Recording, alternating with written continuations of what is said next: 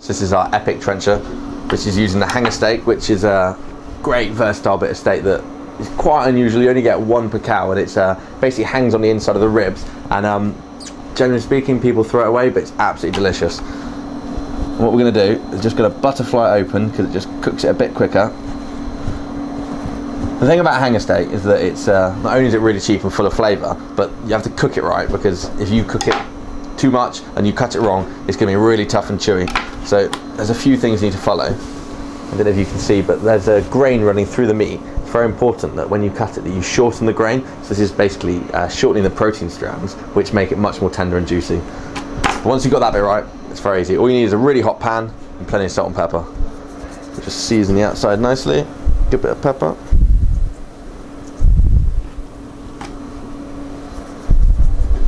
Whenever you're cooking like steak or you know something that's quickly cooked, you always want the pan to be roasting hot. You want to hear that real shizzle, sizzle even.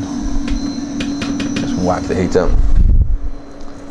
And I'm just gonna wait until this is smoking. Straight in with the steak. That's the sound we want to hear. And I just leave it for a couple of minutes. You want to get as much caramelization on as possible.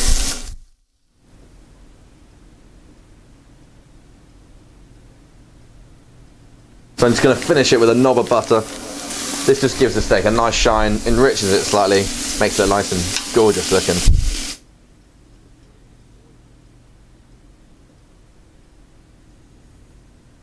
Steak's done. Get it out and just rest it on top of your trench like that. And then just pour all those lovely juices over the top. That's just gonna, gonna rest that for about five minutes what that does is the meat relaxes because it's, you know, it's going to be really tense. As it relaxes, it's going to get nice and soft, but really tender. And all those lovely juices that come out they're going to seep into our trencher plate and make it delicious. So I've got some mushrooms here. I've got some uh, wild chanterelles and then some chestnuts, but you can use really whatever you want. I just want to chop them. They don't have to be too neat, quite rough. This is rustic food.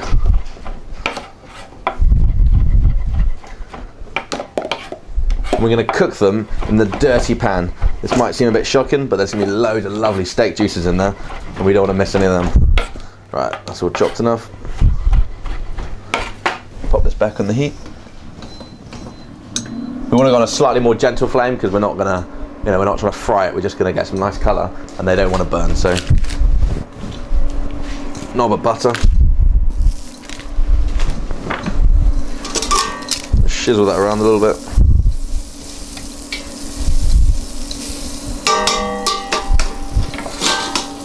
And then pop your mushrooms in. So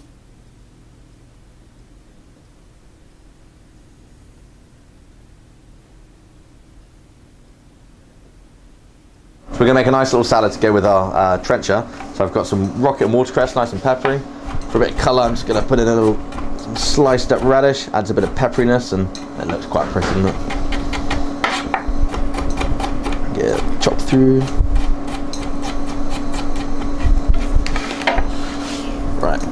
So our mushrooms have been cooking and they're looking lovely. What I'm going to do now, I'm just going to finish them with a splash of sherry vinegar. It's going to form like a dressing, it's going to cut through the richness, and it's just nice.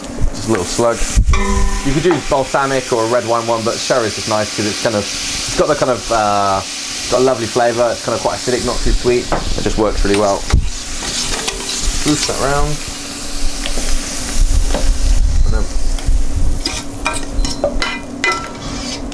all into a bowl. And those mushrooms have been cooking that lovely, steaky, meaty juices, so they're packed full of flavour. Get all the juice out.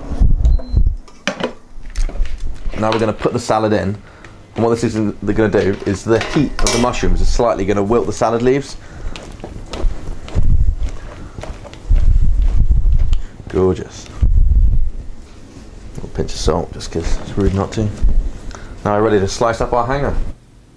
So our hanger's been resting for about five minutes. I'm gonna take that off. It's delicious. You can see all those meaty juices soaked into that bread. That is gonna be fantastic.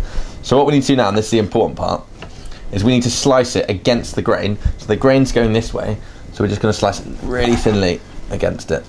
And you can see it's nice and pink. Really juicy and lovely and moist.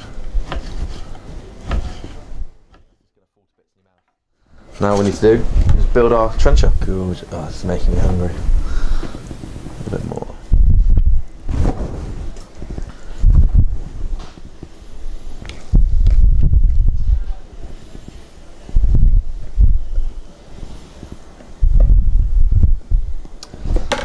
Quite a steak sandwich.